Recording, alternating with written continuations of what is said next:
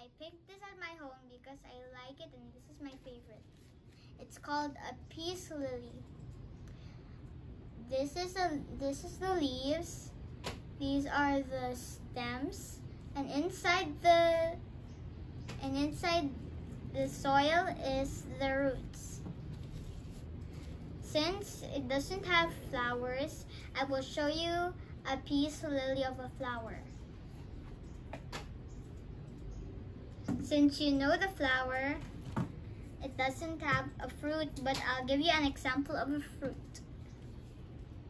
This is an orange, and this is an apple. When you eat it, you can see seeds inside. And then if you want to plant plant something, you can you can you can get the seeds and then plant another tree.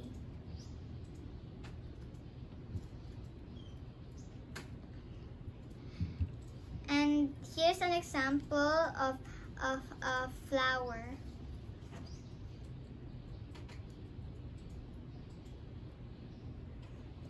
I hope I hope you enjoyed the video.